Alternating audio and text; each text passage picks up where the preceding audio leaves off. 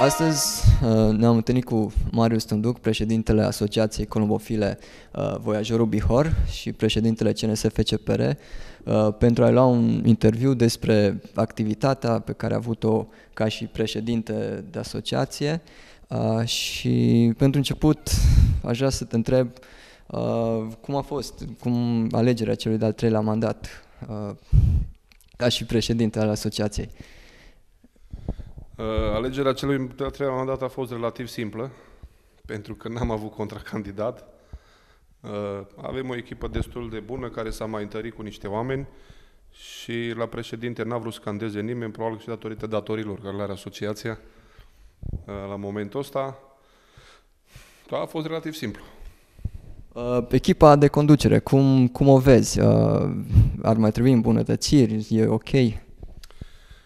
Uh, așa cum tu știi foarte bine, uh, tot timpul am încercat să aduc în conducerea asociației oameni tineri care doresc să implice, că asta e o problemă peste tot în colombofilie.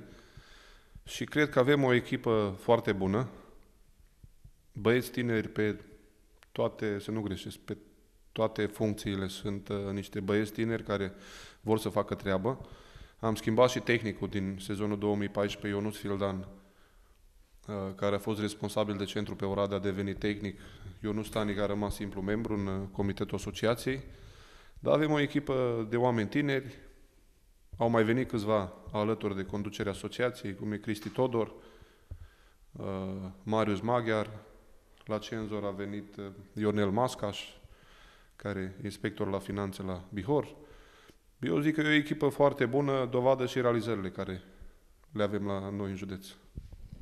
Da. Haideți să trecem la uh, un alt aspect. Uh, asociația încearcă tot mereu să inoveze, să aducă ceva nou în columbofilia românească și asta s-a văzut în ultimii ani. Și am încercat la începutul anului să schimbăm modul de premiere. Ce ne poți spune despre cum, va, cum arată și uh, ce vom face efectiv începând de anul acesta? Una dintre marile probleme ale asociației noastre și ale columbofiliei în general Uh, este dată de rezultate la concursuri, de diferențele kilometrice dintre crescători și de posibilitățile fiecare regiune dintr-un județ să se exprime la o categorie sau alta. Tocmai pentru asta noi am gândit la începutul anului un uh, campionat pe cluburi, am zis noi, uh, un campionat județean, bineînțeles, care e dat de regulile pe care jucăm, un campionat al cluburilor, pentru că avem patru centre de îmbarcare, unde a fost nevoie să fie mai mult de 20 de crescători ca să intre în acest campionat și fiecare club va avea proprii campioni pe care îi vom premia la banchetul județean și în plus am hotărât ca primii 10 crescători în ordinea numărului de trofee obținute pe județ să facă parte dintr-un așa zis club elit. Asta înseamnă că cei mai buni crescători 10 din 2014 joacă în campionatul județean și joacă între ei într-un club elit, să vedem pe cei mai buni dintre cei mai buni.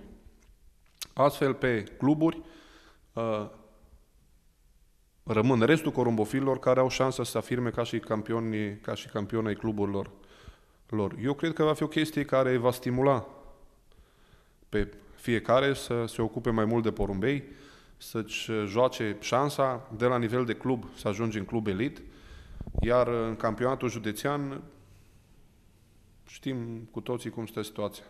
E, suntem primii în România care încercăm așa ceva. Eu am avut ideea asta de foarte mult timp. Am, am, am avut multe discuții cu, cu Rejean François, care sunt prieteni buni și el, ca un om care a concurat și în Belgia, și în Franța, și în România, deplânge faptul că nu reușim să avem, ca și în sportul uman, Uh, Liga 1, Liga 2, Liga 3, pentru că, să fim serioși, crescătorii nu sunt toți de aceeași uh, valoare și nu toți acordă același timp porumbeilor și atunci am încercat o diversificare care ne va asigura la banchetul județean mai mulți campioni, mai multă bucurie, mai mult chef.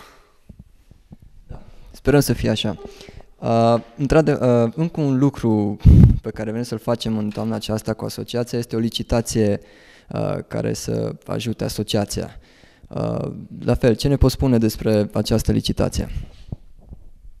În 2013, uh, asociația noastră a oferit niște prețuri, eu zic prețuri record pentru numărul de etape jucate, pentru că pentru 20 de etape de concurs de la viteză până la maraton, pentru 25 de porumbei s-a plătit undeva la 390 de lei, ceea ce pentru o asociație cu 120 de membri este extraordinar. Ei bine, bugetul ăsta și facilitățile care le-am acordat începătorilor, tinerilor și care le acordăm individual unor crescători care nu își permit tot timpul aceste sume, uh,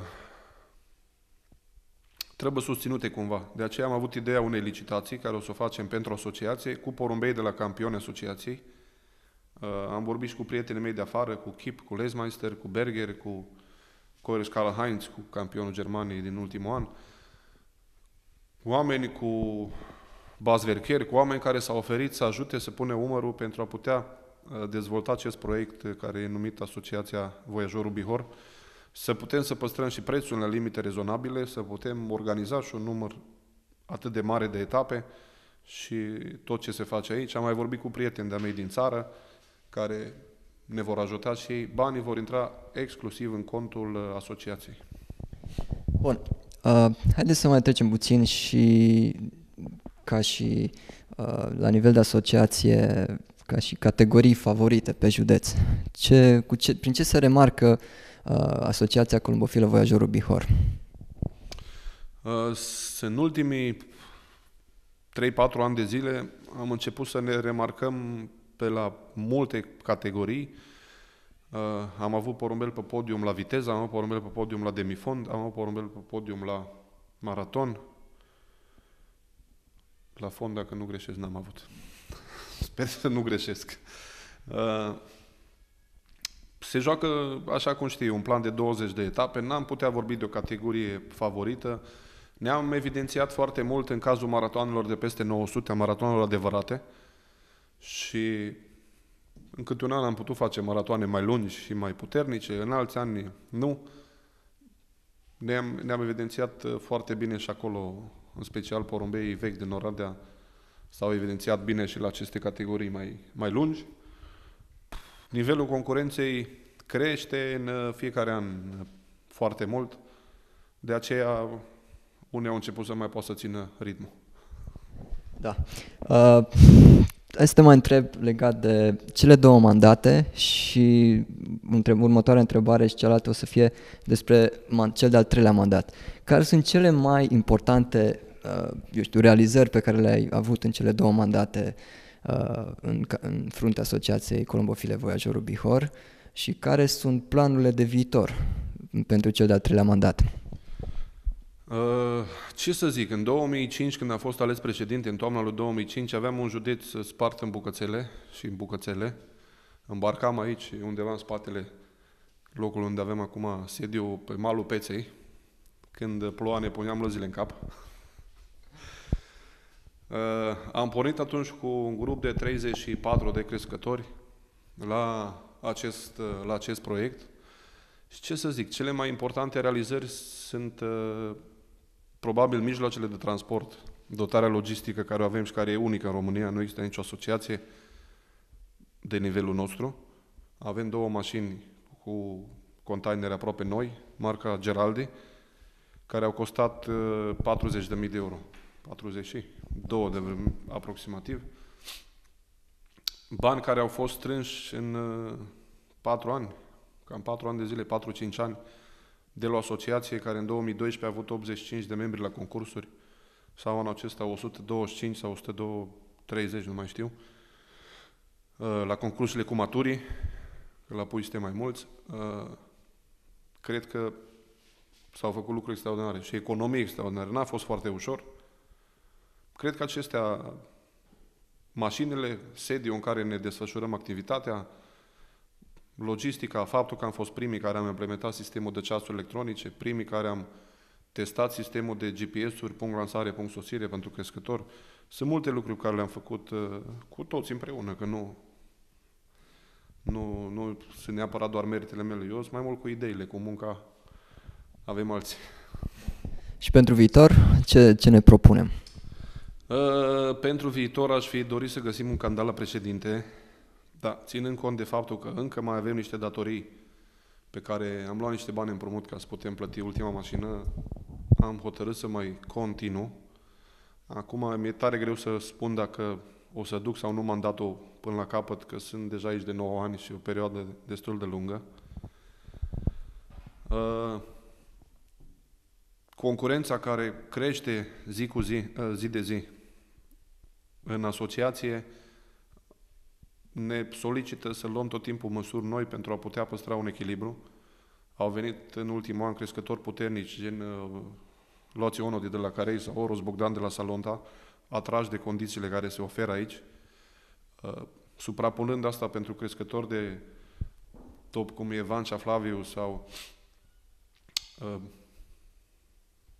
Vlădus Fildan sau familia Micloș sau Slibuț sau Țârtea sau Lucaci sau uh, să nu omit pe careva Sorin Blaga sunt multe nume noi care s-au ridicat și care pot fi văzute pe centralizări la noi Ciobi de la Biharia, care a început să investească foarte mult în porumbei. Uh, cred că viitorul va fi unul strâns, așa că am de Champions League pentru Asociația Bihor și eu sper să poată să țină ritmul cu noi cât mai mulți columbofili. Pentru unii va fi destul de greu să păstreze nivelul ăsta atât de ridicat. Uh, la nivel de asociație, uh, care sunt estimările tale ca și, eu știu, ca și număr de columbofili, număr de centre de îmbarcare pentru nou sezon 2014 competițional? Uh, da, așa cum știi, la etapele cu pui s-au reîntors acasă și crescătorii de la Salonta. Uh, estimările mele sunt undeva în jurul la 130-40 de membri la concursuri, grupați pe centrele Oradea, Aleș, Beiuș, Salonta și uh, Carei, pentru că avem și columbofile din satul mare, din Carei, care sunt membri la noi și care de anul viitor vor îmbarca la care împreună cu cei din Marghita, ei fiind de acolo vecini. Sau de ce nu s-ar putea să fie și un centru la Marghita, dacă mai crește numărul de columbofile acolo. Uh, cred că asta e potențialul nostru la ora asta de transport este de 5500 de locuri, în condiții foarte bune și nici nu ne dorim foarte tare să trecem peste numărul ăsta, adică atrage costuri suplimentare, închiriat de mașini. Cred că planul de zbor de anul ăsta a fost un plan bun. Nu știu dacă sunt neapărat motive să schimbăm ceva. Am găsit locația Tabor, o locație extraordinară de lansare și ca loc, ca și loc efectiv acolo, pe locația fostului aeroport. Uh, locația vizibilă și pe net, că eu am fost acolo și am filmat-o extraordinară. Cred că vom, vom continua într-un fel sau altul și parteneriate cu, parteneriate cu județele din zonă. Noi suntem un județ care iubim concurența, nu fugim de concurență și da, cam, cam astea sunt estimările mele. Acum om trăi și vom vedea. Uh, următoarea întrebare pe care aș vrea să o pun uh, e legat de categoria întâia și a doua în județul Bihor. Ce putem face ca să ne ridicăm mai sus la nivel național? O să te dezamăgesc aici. Eu cred că județul Bihor, prin dispunerea pe care o avem, prin deschiderile și distanțele pe care le jucăm, nu e un județ care să devină favorit la nivel național la categoria 1 și 2. Cu foarte multă muncă, cu porumbei excepțional se poate, dar în, consider, în continuare eu le consider excepții. Cred că județul Bihor trebuie să axeze pe categoriile general, fond, maraton, aș de toate felurile că poate să le facă, sunt categorii la care ne putem lupta cu brio în campionatul național. La viteză și demifond există șanse, dar sunt totuși mici. Prin comparație, porumbelul lui Vancea Flaviu, care a fost anul trecut locul 3 viteză palmares pe 3 ani, a fost un porumbel cu sosiri excepționale. Dar centrele, dispunerea membrilor, uh, și abia după trei ani de zile la palmares, pe trei ani, care e o categorie foarte grea, a reușit să ajungă pe podium.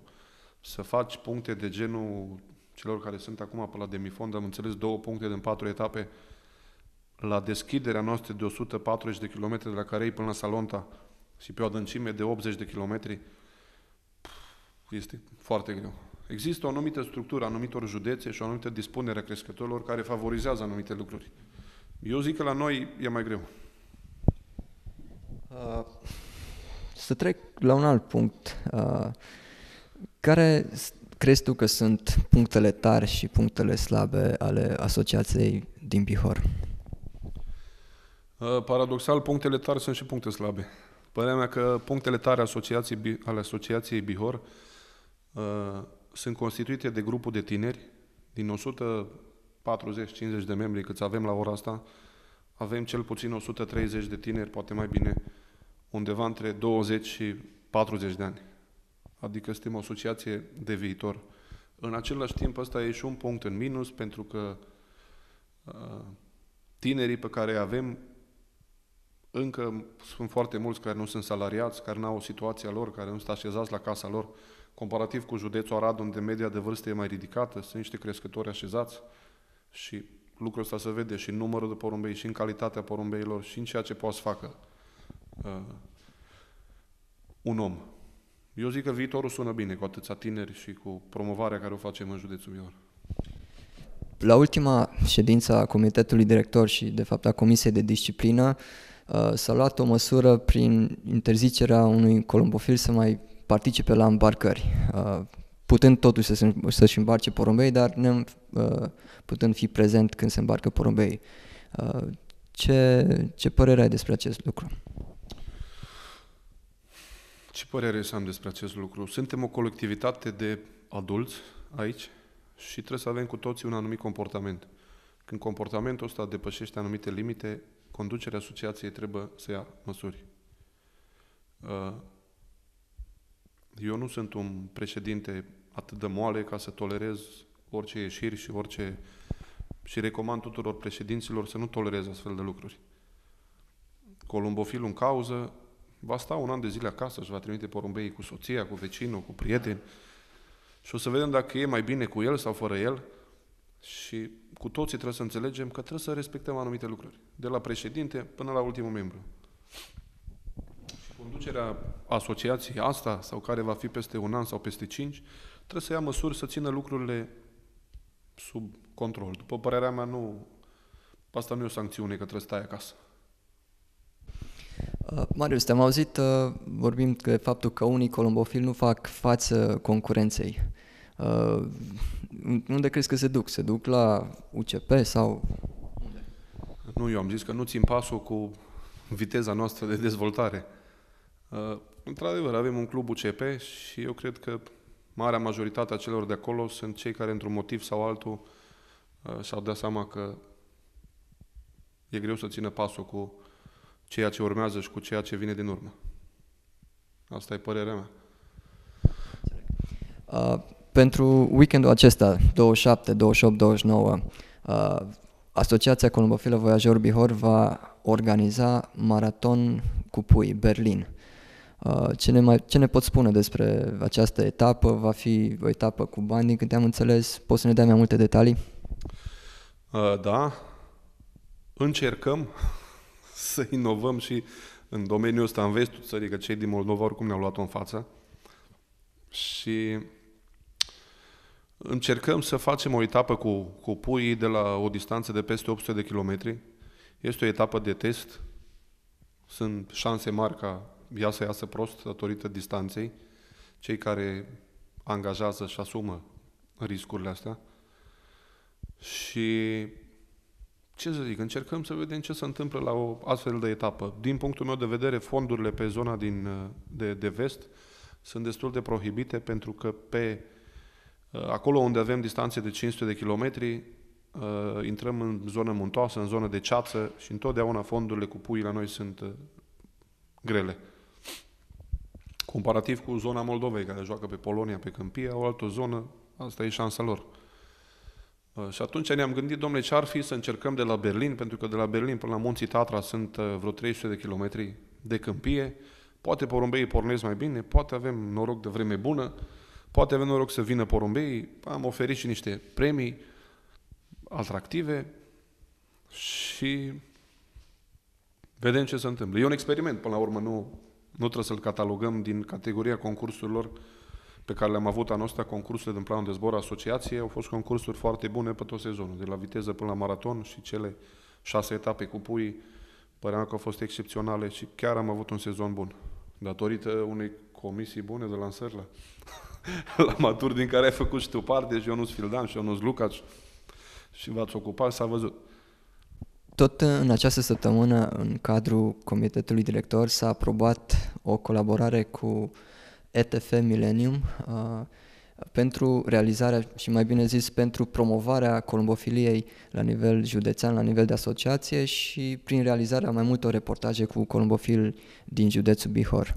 Uh, cum crezi că va decurge și uh, această colaborare cu, cu aceștia? Da, echipa de teatru și film condusă de Călim Bulzan uh, a mai fost alături de noi și mai avem niște filme, inclusiv filmul de la banchetul de anul trecut făcut de ei. Am reușit să punem la punct această colaborare.